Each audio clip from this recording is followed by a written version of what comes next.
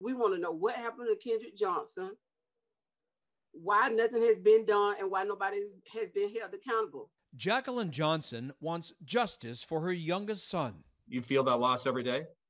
Every day, every second of the hour. In January of 2013, surveillance videos showed Kendrick Johnson walking the hallways at his high school. Sometime in the next 24 hours, the 17 year old three sport athlete died. His body found the next day, rolled up head first in this wrestling mat.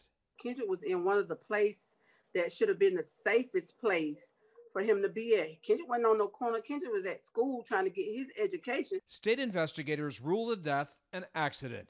They initially said Johnson dove into the mat to retrieve a shoe, got stuck, and died from positional asphyxia. But two other autopsies requested by the family in the following months determined blunt force trauma to the neck caused his death.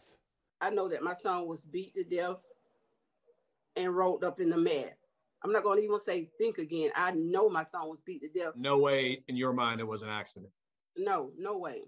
A federal civil rights investigation followed, but in 2016, the Department of Justice determined it lacked evidence to file hate crime charges, as it would have needed to prove he was killed because of his race.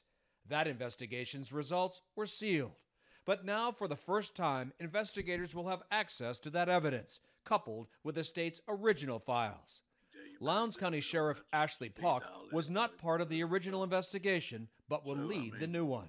I made them a promise. I made the people of this county a promise. I'm pretty well known for keeping my promises. Marcus Coleman is the Johnson family spokesman. Now that this investigation has been reopened in the sheriff's department, we feel like those array of charges that literally fit what happened to Kendrick can now be applied. What do you think those charges will be? Murder. Oh, will be.